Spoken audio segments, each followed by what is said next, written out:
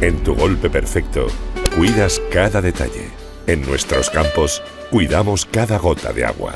Acosol solo riega con agua reciclada, 100% reciclada, sin desperdiciar ni una gota de agua potable.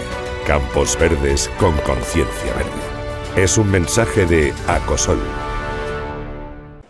Hablamos con Tatiana, que trae aquí la representación de Rusia con todas las cosas típicas, como la mayuska. Bueno, tenemos aquí cosas muy bonitas. Ella nos hablar un poquito del turismo, ¿no? ¿Qué, qué podemos ver en Rusia? Por el momento todo está abierto, a, no, a pesar de la situación uh, pandémica en todo el mundo, los teatros, los museos, todo está abierto y por el momento ofrecemos los uh, visitas itinerarios a Rusia, a Moscú, a San Petersburgo, por el tren transiberiano de Moscú a Vladivostok que dura casi 14 días. ¿Qué más? Cruceros fluviales, palacios de los zares rusos.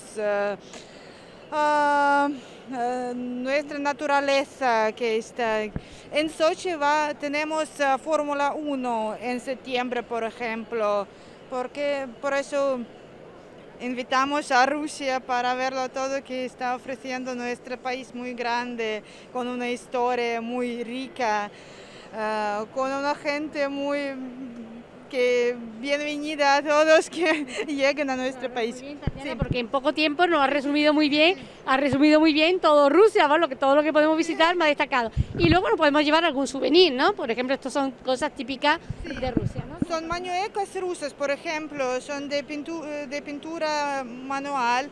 es uh, lo más importante que llegan, llevan con, con uh, ellos los turistas que llegan a nuestro país. Uh, que es uh, la uh, muñeca con que, uh, ¿cómo se dice? Perdón, madre, ¿no? sí, sí, sí, se representa a la madre y que es con motivos rusos para que sea la belleza de, la, de, las mujeres rusas.